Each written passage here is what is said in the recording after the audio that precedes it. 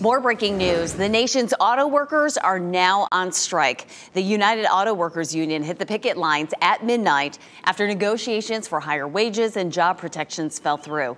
The three companies involved in the strike are GM, Ford, and Chrysler owned Stellantis. Each offered the union double digit percent pay hikes, but that was not enough to meet their demands by the deadline. Currently, there are no auto plants in North Carolina, but drivers could still feel the impact from the strike.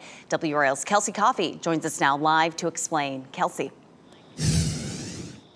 Renee, good morning. If you are looking to buy a new car or if you need to get your car fixed, this strike could certainly impact you. NC State supply chain expert Robert Handfield says that higher car prices are going to be one of the immediate impacts of this strike. The longer these workers stay on strike, the higher the prices could become. And if you own a Jeep, Chevy, GMC, or Ford, the next time you get your car serviced, some of the part shipments could be delayed. The last time time something like this happened was back in 2019 when workers went on a one month strike against General Motors.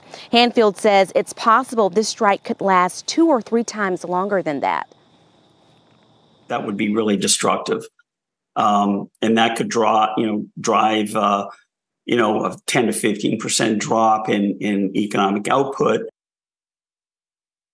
and what makes this strike such a big problem are the potential domino effects. So this could impact industries like the freight industry, uh, steel and aluminum foundries, and uh, the dealers, of course, would be impacted too. So we'll keep you updated as we learn more about the strike. Kelsey Coffey, WRAL News, live in Raleigh.